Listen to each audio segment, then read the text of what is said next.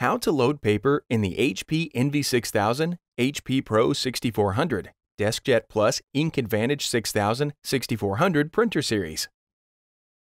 Load paper when setting up your printer or when prompted by your printer software.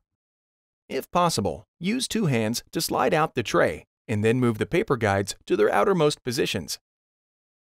Load paper into the tray, adjust the guides, and then close the tray. Resume printing or setting up your printer.